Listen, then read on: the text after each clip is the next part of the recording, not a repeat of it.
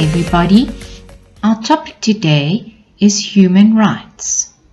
Today we are going to understand what the word rights means, discuss about our needs and wants, and lastly, know your rights.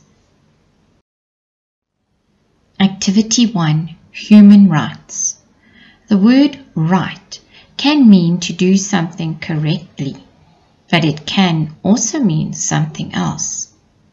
It can mean that you have a legal entitlement to have or do something. This means if you have the right to do something, it is the law and no one can stop you doing it.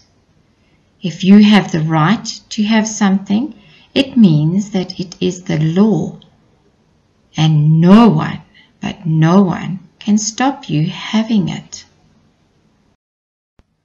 Needs and wants.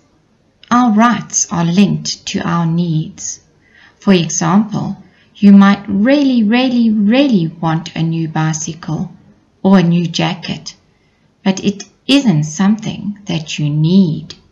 You have a right to your most important needs like water, food, and shelter. A want is something that you would like to have or wish for, such as a games console.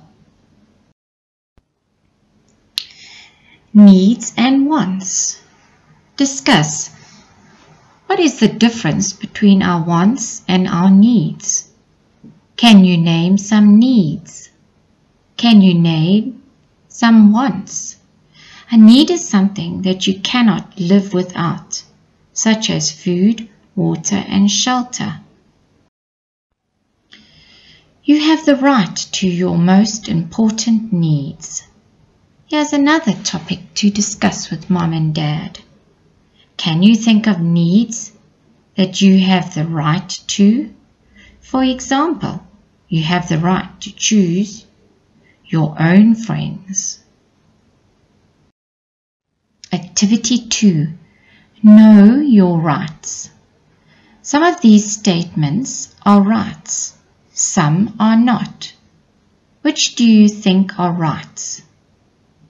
Everyone has the right to life. Everyone has the right to own a television. Everyone has the right to sleep. Everyone has the right to own a games console. Everyone has the right to eat fast food at least once a month. Everyone has the right to own a car. Everyone has the right to jewelry. Everyone has the right to education. Everyone has the right to choose their own friends. Discuss with someone at home which are rights and which are not. Activity 3. Who has rights? Everyone. Look at all those children shouting, everyone. The Universal Declaration of Human Rights makes sure that everyone has the same rights. It doesn't matter if you are male or female, where you are born, what age you are, what language you speak, what religion you believe in, or where you live. From the second you are born, there are things that you have a right to have. Make a poster with all your rights on the one side and on the other side draw all your needs. Most importantly, appreciate your parents and constantly thank them for not only looking after you but loving everything about you. Enjoy your week, boys and girls, mums and dads. See you next time.